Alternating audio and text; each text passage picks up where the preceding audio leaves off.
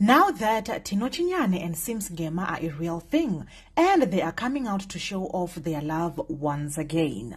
Mzansi is conflicted on whether they should celebrate with them or not whether they should involve themselves in their relationship or not, because at the end of the day, they post pictures so they can receive likes and engagement.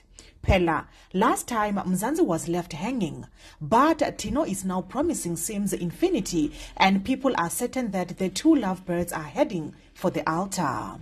Hi, T Squad.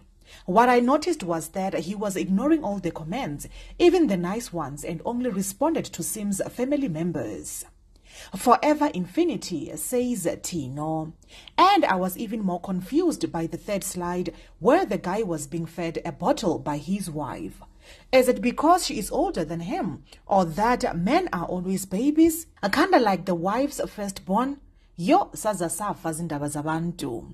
Maybe I'm too touchy, but I found that picture cringe. If you know what is up, please educate us. While some people were not sure whether to support them or mind their own businesses, others congratulated them and said they loved their definition of confuse the enemy. These two give me the same vibes that the influencers and, and celebs give when posting their kids but hide the nose and eyes.